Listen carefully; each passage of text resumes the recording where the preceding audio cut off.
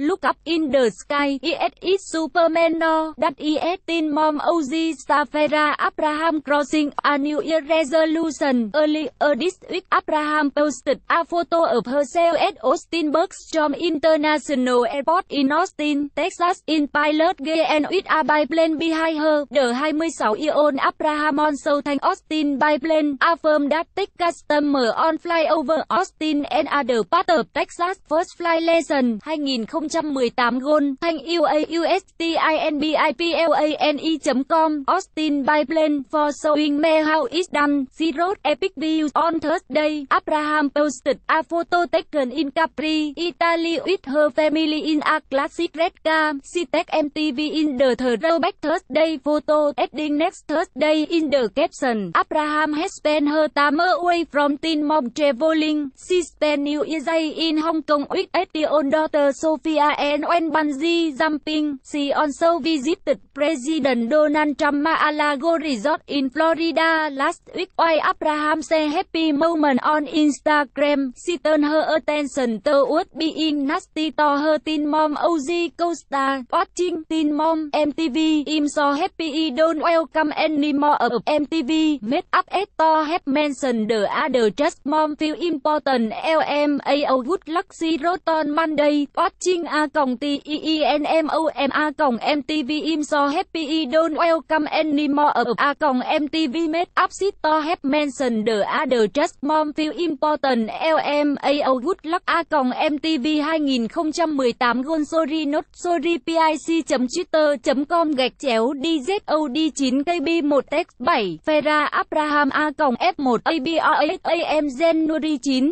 2018 g on also posted more picture of her Flyover Austin, First Fly Lesson 2018 Gold Thanh yêu https 2 gạch chéo gạch chéo t co gạch chéo squ 5 sqb ta còng austin gạch dưới biplane for showing me how is done epic view downtown Austin, Texas, Lady Bird, Lake Lake Travis, Private Flying Fly Flip, Private pic.twitter.com gạch chéo AAXAIWZDQ Fera Abraham A còng F1 ABRASAM January 10 2018 Abraham Hedson on so focus on her adult film career last week she posted a video cô thank you for buying me fit a for you on money with an adult film ĐẮT that hire her as an ambassador the 13 đô la Mỹ video show Abraham oiling up her fit she also spent Christmas in Las Vegas where she did naughty holiday photo shoot at the Crazy Horse Bar Gentleman Club photo credit Twitter Vera Abraham.